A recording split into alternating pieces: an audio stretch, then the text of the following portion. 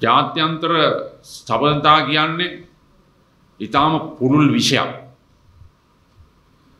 ජාත්‍යන්තර සමතා කියලා කියන්නේ අද තාක්ෂණික ලෝකේ වේගෙන් දියුණුවමින් සංවර්ධනයම යන ලෝකේ විශේෂයෙන්ම ජාත්‍යන්ත්‍ර සමඳතා තමයි රටක් දියුණුවෙන්න ඉතාමත් වැදගත්වෙන්නේ.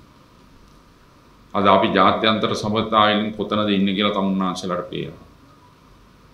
මේ දස්සල සාමාන්‍යයෙන් තමුන්නාන්සලගේ කතාබහේදී ගෙවල් දුරවල් වලත් ඔය හම්බ වෙලා මේ කතා කරනකොටත් මාධ්‍ය සාකච්ඡාවල අහනවා පාර්ලිමේන්තුවේ අහනවා මාධ්‍යවල අහනවා ජාත්‍යන්තර මුල්‍ය අරමුදල ගැන IMF හුඟ දෙනෙක් කියන ආණ්ඩුවට IMF යන්න නැති කියලා. මේ ආර්ථික අර්බුදේ විසඳගන්න යම් කිසි සහනයක් එතනින් හම්බ වෙයි කියලා. ආණ්ඩුවේ බලවතුන් කියනවා නෑ අපි IMF යන්නෙම නෑ කියලා කියනවා. තමුන්නාන්සලට සමහර විට මතක ඇති මම අවුරුදු පහට මාසේ කමාරයි අඩු ජනාධිපතිවරයා විදියට ඒ අවුරුදු පහට මාසේ කාමාරක් අඩු මුළු කාලයම මම වැඩ කෙරුවේ IMF එකත් එක්ක. IMF එක මට බරපතල කොන්දේසි දැම්මේ නැහැ. ඒ වගේම දාපු සමහර කොන්දේසි ටිකක් තදේව මම ඒගොල්ලත් එක්ක ගෙන්නලා කතා කරලා මම කිව්වා මේව නම් මට කරන්න බෑ. මේ දේවල් කළොත් රටේ විශාල අර්බුද එනවා, අවුල් එනවා, ජනතාවගේ අප්‍රසාදයට එනවා. සාමාන්‍ය දන්තාවගේ දෛනික ජීවිතයට බලපාන ප්‍රශ්න නිදහස් අධ්‍යාපනය නිදහස් සෞඛ්‍ය සහනාධාර. මේවනම් කොහෙත් මත තියන්න පුළුවන් දේවල් නෙවෙයි කියලා මම ඒ වෙලාවේ ඒගොල්ලෝ පිළිගත්තා. මගේ ඉල්ලීමට කන් දුන්නා. ඒ කොන්දේසි අයින් කරගත්තා. ජාත්‍යන්තර මුල්‍ය අරමුදලත් ලෝක බැංකුවත් ආසියානු සංවර්ධන බැංකුවත් ජයිකා ජපන් ජාත්‍යන්ත්‍ර බැංකුවත් සහයෝගිතා කොයිකා කොරියානු ආර්ථික සහයෝගිතා ජාත්‍යන්තර සංවිධානය EU ඇන්න යුරෝපියන් යුනියන් එක මේ සියල්ලම ලෝකයේ රටවල් දුප්පත් රටවල්ලට සහ ආර්ථික ආධාර අවශ්‍ය රටවල්ලට ආධාර දෙන ජාත්‍යන්තර ආයතනය ලෝකයේ පිළිගත් ඉතා වැදගත් ආයතන. ඒ හැම ආයතනයක්ම උදව් කරන්නේ මිත්‍රවරුණේ ඒ රටේ රාජ්‍ය පාලනය ස්වභාවයටයි. ඒ රාජ්‍ය පාලනය ස්වභාවය බලන්න කොහොමද කියලා.